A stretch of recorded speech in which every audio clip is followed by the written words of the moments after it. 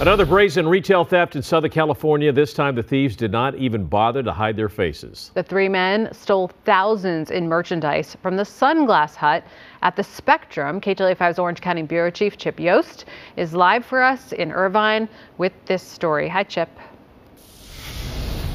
Yeah, hey there, Courtney and Glenn. Police say these thieves did absolutely nothing to hide the fact that they were committing a felony in the middle of a popular mall during business hours. If there's anything good about that, since they weren't doing anything to hide what they were doing, they also weren't hiding their faces. Now, police are releasing these pictures, hoping someone recognizes them and gives them a tip as to where they can be found.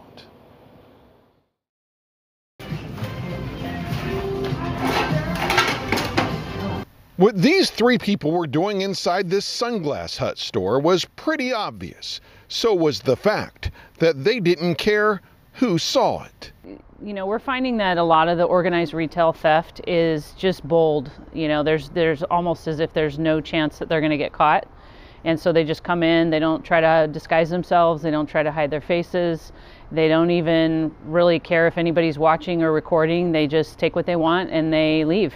And that's what these three did on October 6th. It happened at the Sunglass Hut store at the Irvine Spectrum. Irvine police say the three thieves went into the store shortly before closing time, then casually walked out with around $16,000 worth of sunglasses. It doesn't appear there was anybody that tried to stop them. That, a lot of retailers now they they just start take a hands-off approach, which is you know, I understand why they do that, but it's also unfortunate because there's no interference with these suspects. They just basically come in and take what they want and they leave uh, with no interruption at all. Uh, and you can see the look on their faces in the video. They they're, they're they don't have a care in the world.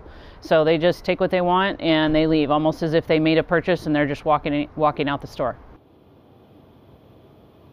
So again, this happened on October 6th. Police say they were seen leaving in a gray BMW. If you know who they are, you can contact the Irvine Police Department. Reporting live here in Irvine, I'm Chip Yost, KTLA 5 News.